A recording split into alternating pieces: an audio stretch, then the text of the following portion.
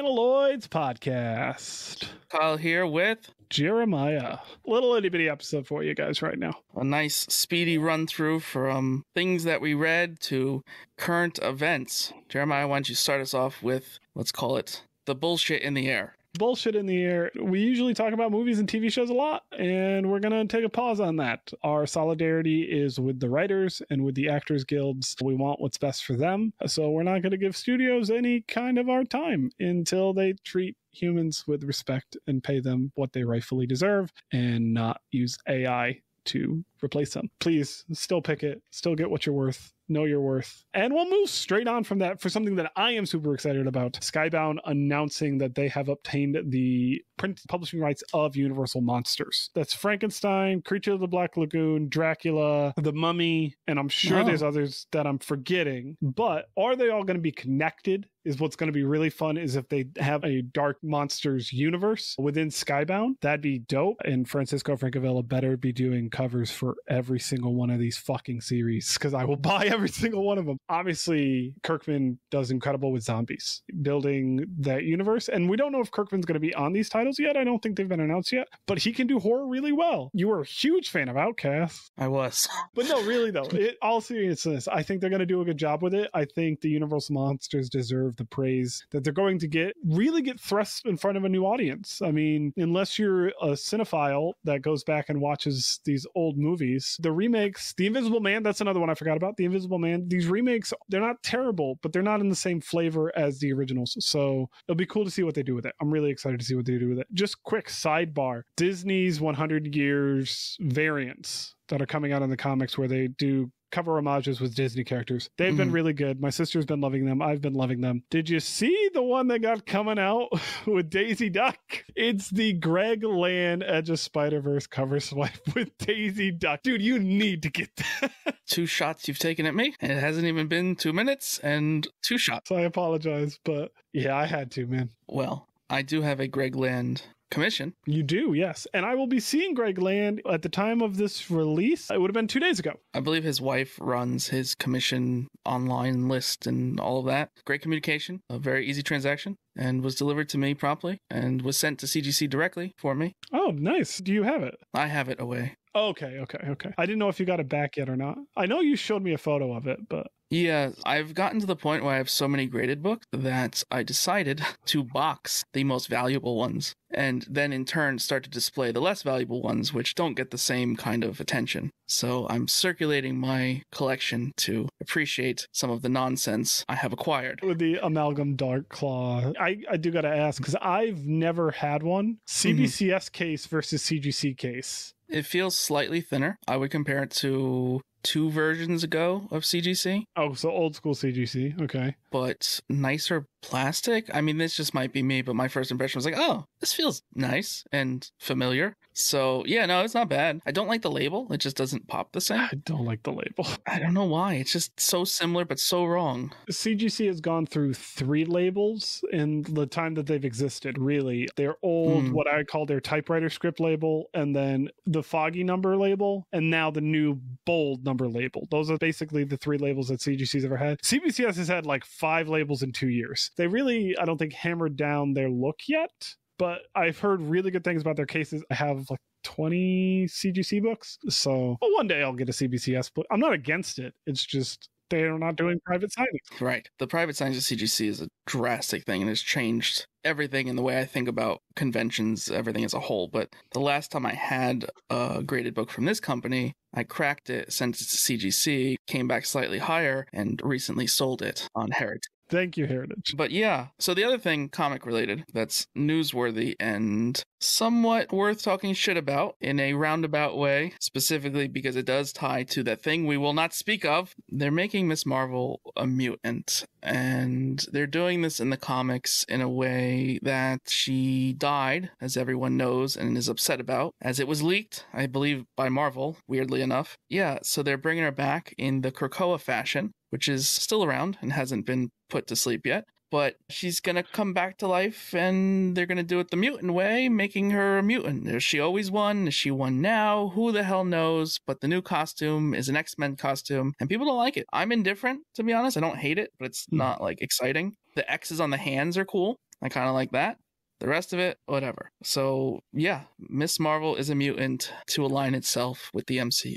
Because of all the Krakoa stuff, I don't do mutants. I'll be doing the Uncanny Spider Man for sure, just because Nightcrawler's my That boy. cool. But I don't read any of the X Men titles, Marauders, X Factor. I did read Excellent, but that's because I'm a Mike Allred fan, and that's kind of its own. It is mutant, but it's separate because the mutant encompasses so much. And to throw Ms. Marvel in there as well, I mean, I'm not against it. You want to align it with the broader picture, that's fine by me. The costume, it isn't a huge diversion from her current costume or what was her current costume before she died. Mm, So throw a couple X Men logos on there. The X's on the hands are a nice touch. The actress who plays Ms. Marvel is one of the writers. It's obviously going to breathe life as a show in Mhm. terms of that same, I want to say, coming of age feeling. Mhm. And I think they're going to put enough power behind it where it's going to be good no matter what. So, going back to another cultural diversion of a Mhm. character, Jason Aaron's run on Punisher has come to an end. At the time of this recording, it will be announced in two days, but we have a new Punisher. Curious to see who it is or what it is. So let's guess, and then we'll see if we're right. Because again, this is going to come out. So if we're wrong, you can unsubscribe or something. I don't know. Leave a one star review on all platforms. I think we're getting a new female Punisher. We had a female Punisher in the mid knots Hmm. for a little while. She had her own series. I think it was only eight issues, if I'm remembering correctly. Didn't she flip on him? She flipped on him in a Daredevil issue. I want that noted. Interesting. I think it's time for a female Punisher. I'm not going to say that it's going to be Elektra, only because I know that Elektra is showing up in the new Daredevil series where Aaron Kuder is the artist on it. So it's not Elektra, but I do think we are getting a female Punisher.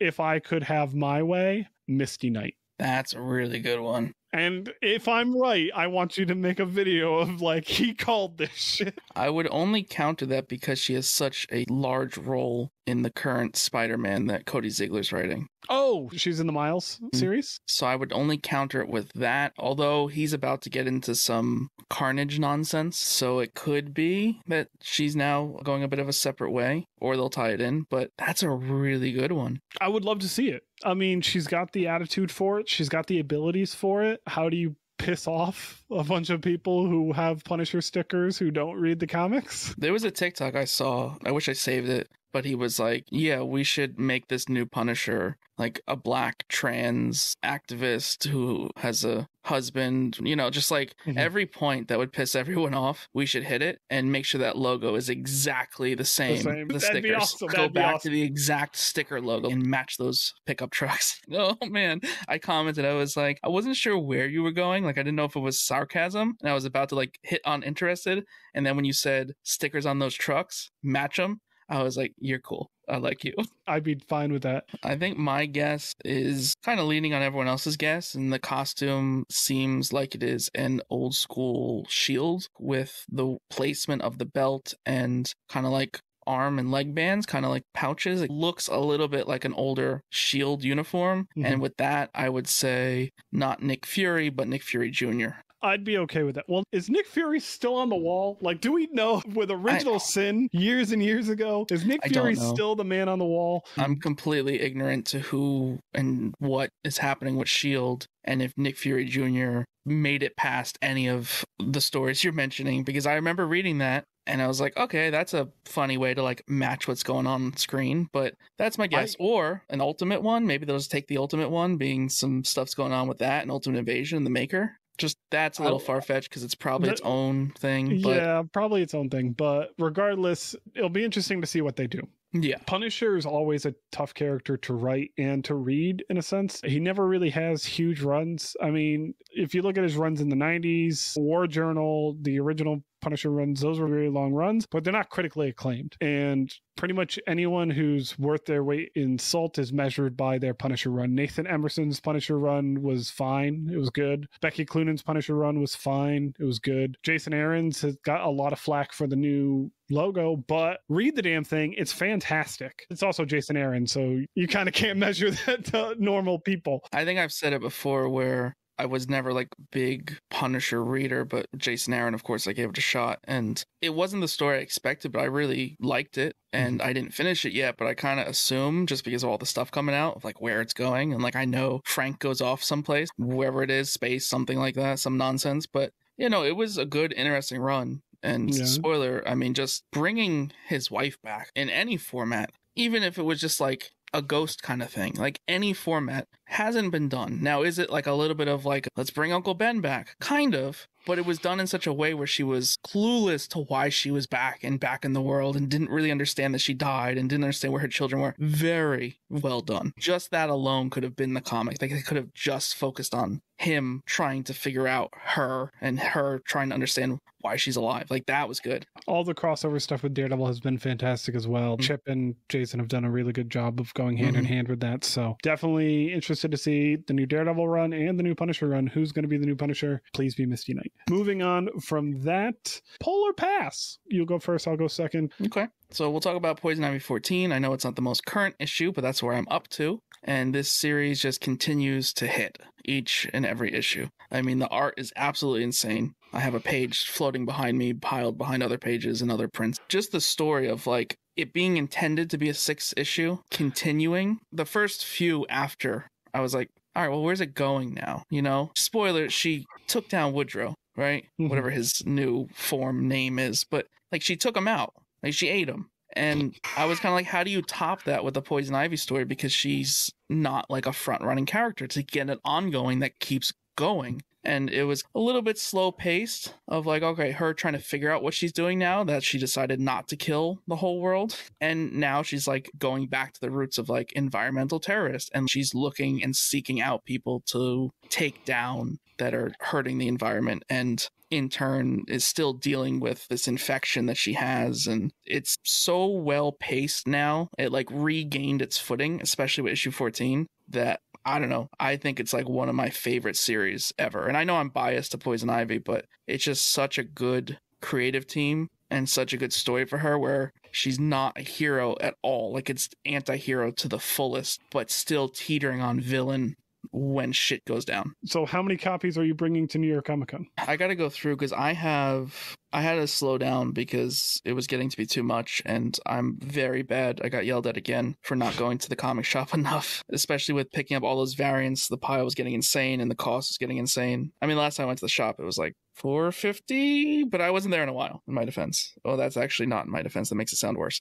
so I slowed down a little on variants for financial reasons, but I got to go through it because I have some in there that really need to get graded and signed that would just display so nicely. It's exciting that she's going to be in New York, though, so you can It is. kind It's of very exciting. I'm only going one day this year, same. not the same day, so that's great. So it's gonna be a little weird, but yeah, I'm gonna visit our good friends, Desert Wind, drop off books, and then get a few raw things signed, and more so just saying hello. It's gonna be a weird. And actually, by the time this episode comes out, granted everything goes as planned, I have to cut this section out. I might cosplay for the first time. Really? What are you considering going as? Well, if you watched the last episode, that hopefully happens. I've acquired a dentist uniform, one might say. And being Ryan Stegman's always at New York, I might dress up like Roger from the Schlub and walk around my belly out. You know, no one will know who I am, but when I see Stegman, he'll know. Yeah, you Yeah. need to do that. By the time this episode airs, I will have been at Terrificon. I'm going Mm. to Terrificon for one day, Sunday. I'll be wearing this hat, so if you see me around, you can say hello, or you would have Flip said hello, off. maybe,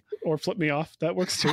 yeah, that's where Greg Land will be. I've got a couple books that I'm bringing. Steve McNiven's going to be there, so I'm looking to to get some stuff signed by him. I don't grade like you do, but Captured Collectibles will be there, so might grade one thing if I do. But as for me, Polar Pass, I want to talk about the world's finest Teen Titans, written by Mark Waid, and the A cover is a Chris Samnee cover. In the next issue, we're getting a Paolo Rivera cover. Has nothing to do with me wanting to talk about this Mhm. series, but Mark Waid writing anything is always worth picking up and what he did with Batman and Superman World's Finest, he just brings that same energy and flavor to the Teen Titans World Finest. I think it's a four part mini. It may go on longer, but yeah, it's great. The cardstock cover costs you $1 more, but it's Paolo Rivera, so you should get it for the second issue. They're fighting alongside Justice League in the first issue. Excited to see where it goes from there. You get the classic quips. It's the original Teen Titans team too, so definitely you should go pick this up. It's definitely a pull. Nice. So my next pull or pass is also a pull. I know once we start to get to like the later issues, which is where I'm at right now,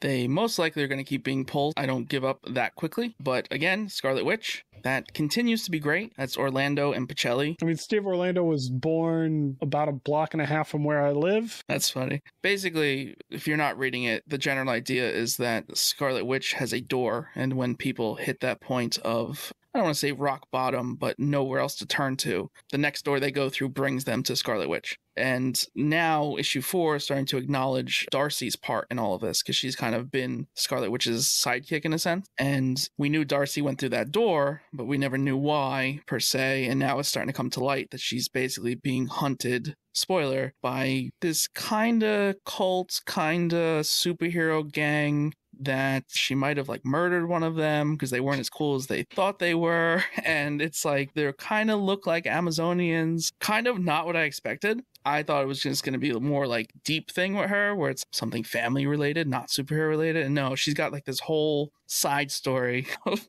some nonsense. I've been trade waiting on Scarlet Witch. I might now just go hunt the single issues. What I've heard from the series is absolutely fantastic. Russell Dauterman covers, Steve Orlando writing it, Pichelli on art. Yeah, I'm probably going to go hunt the single issues. My LCS probably has it. It's kind of fun now. I don't want to say it's, it doesn't have a serious tone, but it doesn't have a playful tone either. But it's just a fun adventure now because it's like you weren't expecting things to get more outrageous. I pay three ninety nine, four ninety nine, five ninety nine, fucking eight ninety nine if you're Ultimate Invasion to be entertained, to escape Mhm. the world a little bit, to have fun. That word you just said, to have Mhm. fun. That is the best recommendation you can give, in my opinion. So whether it's serious or not doesn't mean that it can't be fun. So yeah, I'm definitely gonna hunt that down. Moon Knight is getting a new series. Moon Knight City of the Dead, number one. I think it's a six part mini. Moon Knight has been one of the better books on the stands, and it's one of the Marvel titles that has held on for a while. I think we just got issue number 27 released. So the fact that it wasn't reset after nine or 12 is saying something. So this series, I think, is going to run along conjunction with the regular Moon Knight series. I think you have to bounce back and forth in between them. If I'm not mistaken, I could be wrong,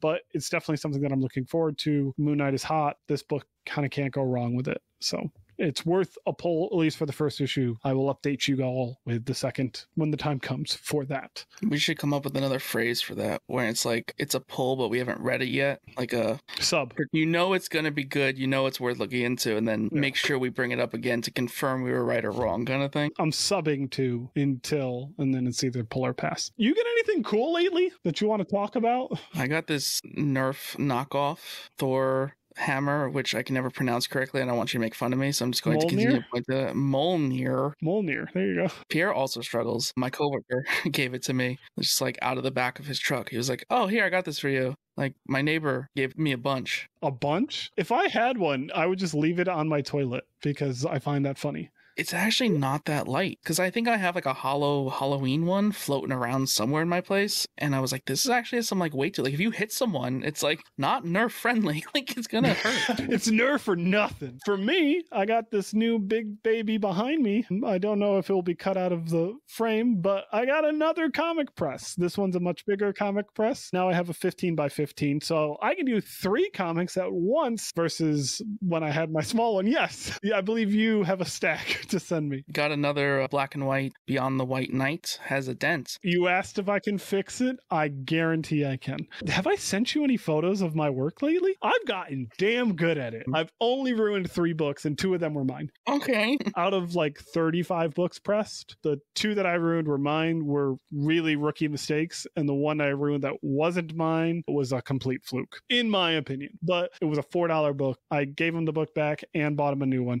Not the end of the world for that that. Do you want to walk us through real quick, just like the quick press process? For me personally, I do a dry clean on the book. So I look at the book, look at any imperfections that I can take out with either an eraser or a makeup cleaning pad or a, a dust sponge. Just get the Okay. book nice and clean. And then I put it in a hydration chamber. And for me, my hmm. hydration chamber, I use Tupperware and a metal grate. And I place the comic in there wrapped in a towel and get the bottom filled with hot water to hydrate the book You don't want to get the book wet. You just want to get the book hydrated. For the people who steam books, I don't understand how you do that. Good on you if you don't ruin the book. For me, I just like getting the book hydrated. Heat a press up to 165 degrees, press it for 10 minutes, leave it for 12 hours. Some people like to press it for 10 minutes, flip it, and then press it again for 10 minutes and leave it. But I actually press with a metal plate on the bottom, which is heated to the same temperature as the hot plate on top. So I am hmm. pressing from both directions at the same time with the same temperature. That's how I do my pressing. So far, a bunch of the books that I've pressed are at CGC. They haven't come back yet. I just pressed this one for myself, and I'll be sending this into the Roy Thompson signing. And I am betting money that it's a 9.8 because it was probably a 9.6. I'm betting now it's a 9.8. Something to keep in mind mind if you're looking to press books, especially if you're looking to press modern books, specifically Marvel books. If it has a digital code, you need to be much more careful with that book pressing it than a book that doesn't have a digital code. You can scar the book really easily if you press the digital code into the book. So you need to have protection in between the code and the rest of the book. What do you use for that?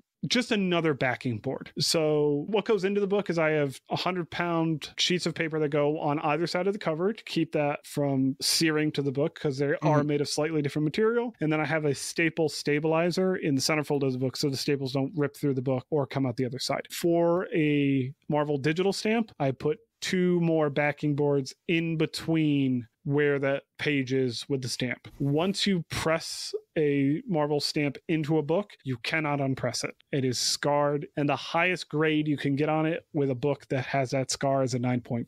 In a bubble, in a sense. Yeah, essentially, it's what you're doing. Mm. That being said, when you send me your books, if they have digital code, please make a note of it so I'm more careful with them. But most books don't if they're DC or older than 2012, I think, is when they started the digital code thing. Yeah, and lately I've noticed they've just been randomly not putting them in books. I think they're gonna pull them all because of Marvel Unlimited being updated. But yeah, I got a new press. It's pretty. It's green. Very my nice. wife doesn't want me to put stickers on it for some reason because I put stickers on my other one and she says I ruined it, but I didn't. Paneloids podcast. That's uh Panelites podcast.